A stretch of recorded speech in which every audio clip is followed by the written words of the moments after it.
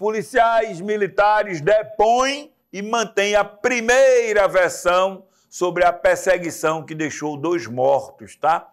É, vocês lembram disso? A gente trouxe isso numa segunda-feira. O crime aconteceu, o crime, a interpelação, né? A abordagem aconteceu no fim de semana.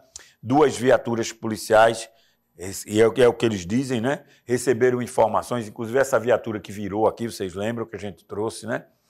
É, recebeu a informação de que dois, duas pessoas, dois homens, estavam cometendo assaltos no centro da cidade de Colônia Leopoldina. E eles foram fazer essa ação. E daí terminou havendo, as, segundo eles, troca de tiros, que não está sendo confirmado pela população, tá?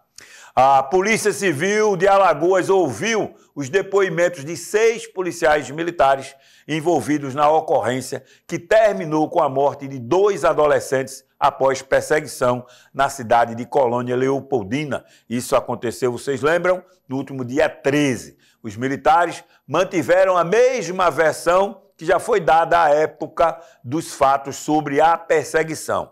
Eles relataram que receberam informações de que dois jovens estavam cometendo assaltos na região.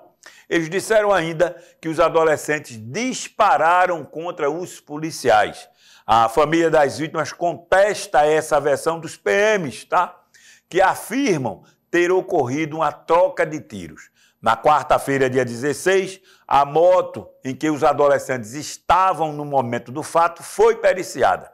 A viatura da Polícia Militar de Alagoas, que participou da ocorrência, também passou pelo mesmo procedimento. De acordo aí com o delegado Valdo Reis, que investiga o caso, as armas apresentadas pela polícia como sendo dos adolescentes também serão periciadas. Valdo Reis informou que os adolescentes não possuem nenhuma passagem pela polícia nem há relato de ligação deles com a criminalidade. Ele também mencionou que, embora a polícia militar tenha sido, tenha dito, né, citado, que os adolescentes estavam tentando realizar assaltos na cidade, não há nenhuma denúncia a respeito disso e nenhuma vítima dos supostos assaltos até agora apareceu. Então, infelizmente, se tem ainda aí muita dúvida sobre isso, né? Inclusive a gente te, trouxe a primeira informação, a primeira notícia que nós trouxemos aqui na segunda foi na terça-feira, logo depois dessa perseguição acontecendo esse óbito, né? Dizendo que eram dois assaltantes. A gente disse isso aqui. Então, no outro dia, a gente recebeu informações mais corretas, e aí, em vez de homens, eram jovens de 15, 16 anos, trabalhadores, né? Trabalhavam inclusive no corte da cana, tem imagem dele trabalhando.